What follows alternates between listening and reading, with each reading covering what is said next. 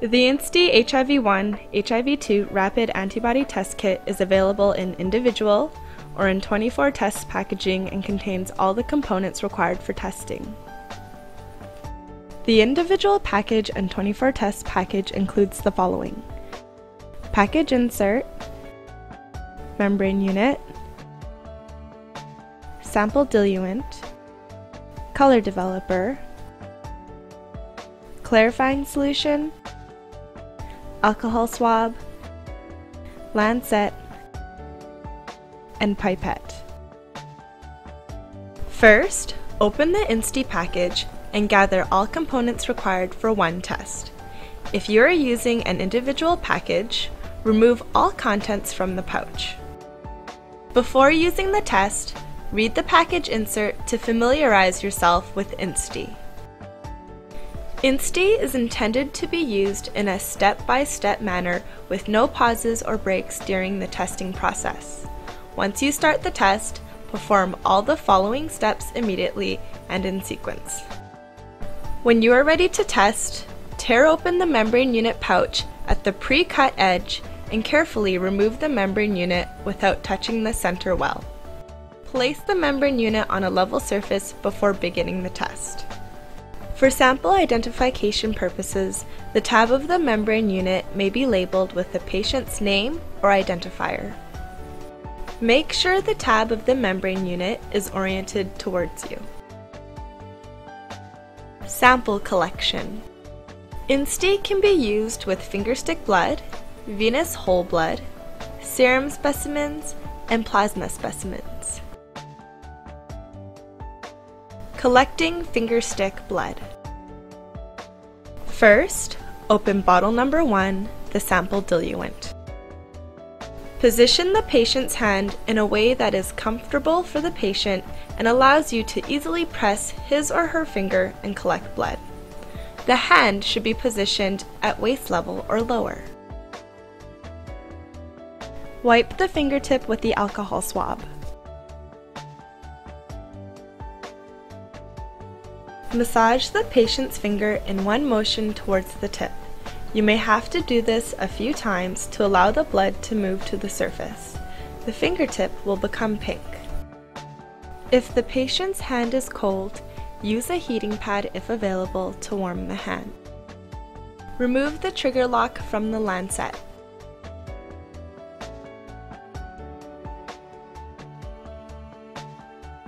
The appropriate areas to prick the finger are indicated by the areas marked yes.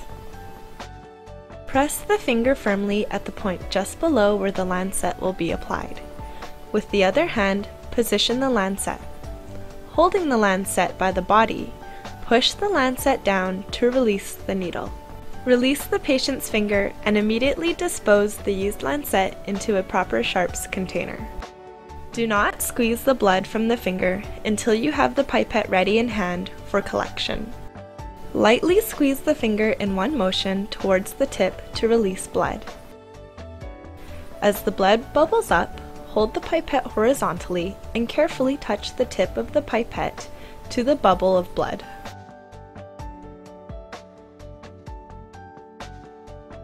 Do not squeeze the bulb of the pipette. The pipette is calibrated to 50 microliters of blood. Capillary action automatically draws the sample to the black fill line and stops. The amount of blood collected is critical. Filling the pipette stem indicates when you reach 50 microliters of blood. Do not hold the pipette vertically to collect blood. Gravity will not allow capillary action. Add the 50 microliters of blood from the pipette to bottle number 1, the sample diluent, by squeezing the pipette bulb. The pipette stem has a pin-sized hole located at the black line. Squeezing the pipette bulb usually expels the blood from the pipette stem. However, if squeezing the bulb does not expel the sample into bottle number 1, cover the pinhole with gloved fingers and squeeze the bulb again. This should release the sample from the pipette stem. Step number one, sample diluent. Once the sample has been transferred into bottle number one, the sample diluent, recap the bottle and mix well by inversion. Open the sample diluent and pour the entire contents into the center of the membrane unit well. The sample should be absorbed quickly. If HIV-1 or HIV-2 antibodies are present, they are captured at the test spot by proteins on the membrane. Wait for all the liquid from bottle number 1 to be absorbed completely. Step number 2. Color Developer Resuspend the color developer by slowly inverting to mix the solution thoroughly until the reagent is evenly suspended.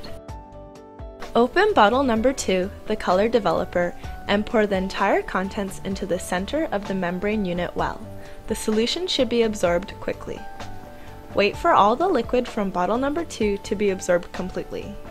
The color developer will generate a blue control spot and a second blue spot if HIV-1 or HIV-2 antibodies are present. Step number 3. Clarifying solution. Open bottle number 3, the clarifying solution, and pour the entire contents into the center of the membrane unit well. The solution should be absorbed completely. The clarifying solution will reduce the background to provide more contrast to the spots and facilitate reading. Immediately read the result while the membrane is still wet. Interpretations of the results. Do not read the results if more than 5 minutes have elapsed following the addition of clarifying solution. When reading the results, make sure the tab of the membrane unit is oriented towards you. Non-reactive result. One blue control spot that is clearly discernible above any background tint should appear on the membrane. The control spot indicates the test has been performed correctly and a human specimen has been used. Reactive result.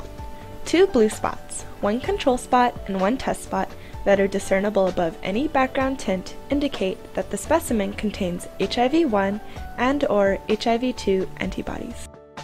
Invalid result. The test is invalid if there is no control spot on the membrane. Conduct the test again with a new kit. A reactive test should be readily visible to the naked eye. If there is any doubt, repeat the test. Following a reactive rapid test result, a venous blood sample must be drawn in an appropriate blood collection tube and forwarded to a laboratory for HIV confirmatory testing. The INSTI HIV Rapid Antibody Test is intended for use by trained personnel in medical facilities, clinical laboratories, emergency care situations, physicians' offices, voluntary counseling and testing programs. For more information, please visit www.biolytical.com.